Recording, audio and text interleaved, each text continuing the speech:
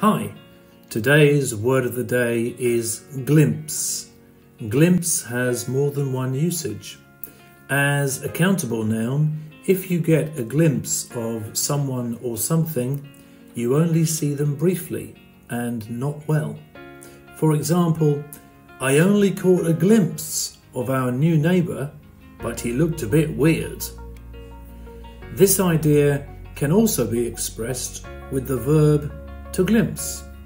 For example, we glimpsed our old house as we passed by on the train. Again, as a countable noun, a glimpse of something is a short experience of something that helps you to understand it. For example, the documentary gives us a rare glimpse into the mind of a genius. Glimpse first appeared in English in the early 15th century.